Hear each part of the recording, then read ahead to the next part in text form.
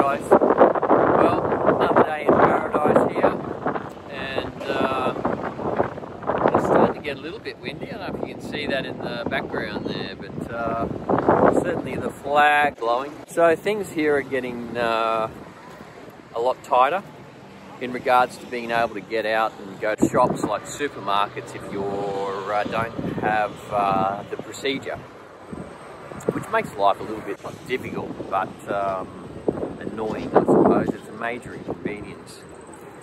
So uh, my spidey senses are uh, starting to get a little bit uh, concerned, to be honest, because I can kind of see where this is going to go.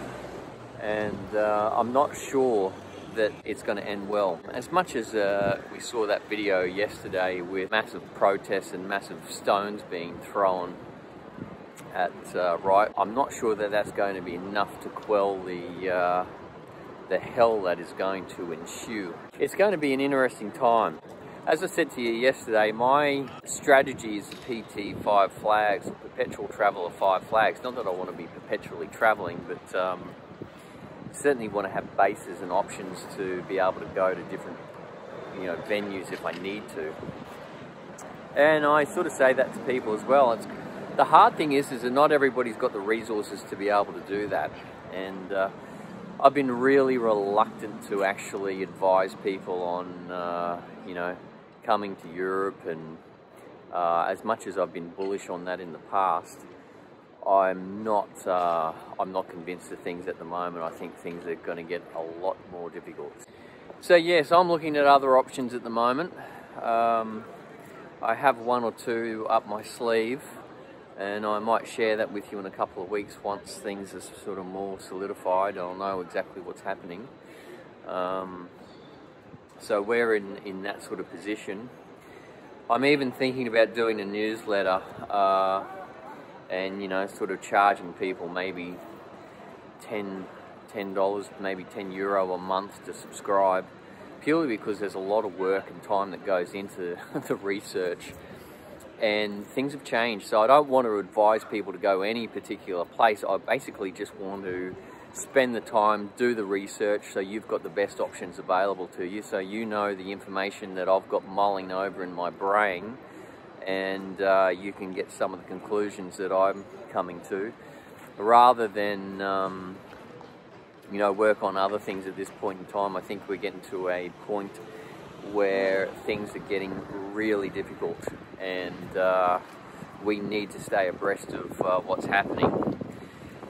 Certainly think that there's uh, some uh, strategized implementation uh, being enacted at the moment. And my gut feeling is that it's an implementation of a new global cryptocurrency instead of uh, the uh, reserve currency of the US and a new global implementation of a crypto taxation system.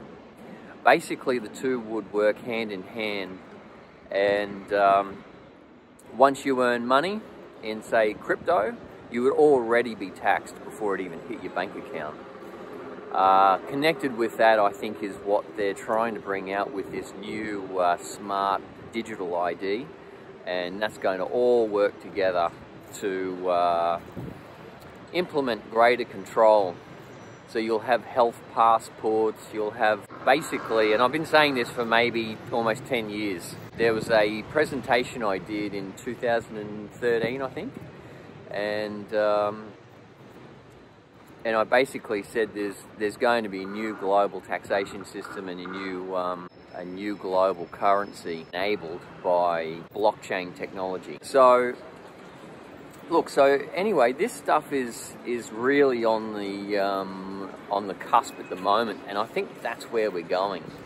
And you know, I hate to be negative about it, but I just don't like the idea of um, some major corporation working with a government, whether federal or local, to to basically track everything that I say, everything I do, every dollar that I spend, and then link that to some carbon carbon credit system so that they can limit the amount of money that I can spend every month.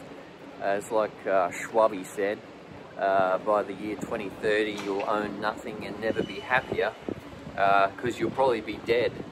Um, you know, it's just sad and tragic and we've been here before and, um, you know, yeah, so anyway, it's just difficult times all around and I don't want to be negative, but I'm just saying to people, look, get your head around things, start looking at, it's time to be agile. You cannot sort of sit there and say, oh, I'm going to live here for the next uh, 20 years or live out my retirement like this. Uh, it's just uh, not going to work that way. That's not the time or the era that we're in at the moment. Really, I think World War III has already begun. I think it began with the uh, the dreaded uh, Chi-Com virus, and um, I think that's symptomatic of where things are going. So I think we're in World War III now. I think it's already begun.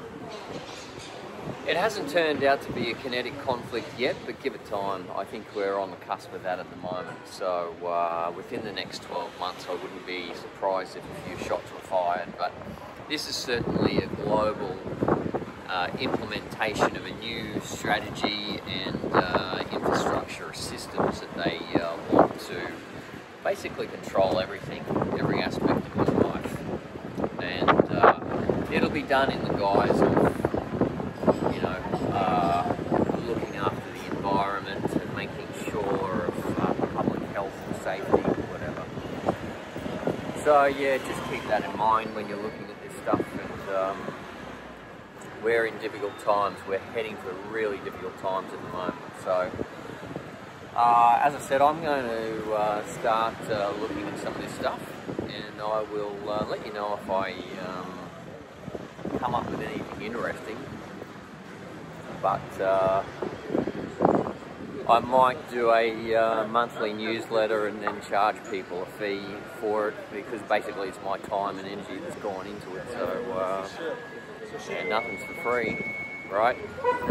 So but I don't, the reason why I'm taking a different tact is because, um, because I don't want to say one particular location is going to be better than another. It's just not. I, I just can't see that at the moment. It's going to be um, information dependent as to where you go, when you go, how you go. And, um, you know, some people say you can't outrun it. I'll give it a bloody good try. So uh, just remember, it costs a lot of money to implement a lot of this infrastructure and a lot of these systems. And some of these countries don't have those resources and the citizenry don't uh, like it. Anyway, right now I'm in the, the meat markets. So this is where you buy your meat in the heart of Athens. And the next aisle over is where people buy all their fish. And across the road behind me is the fruit markets.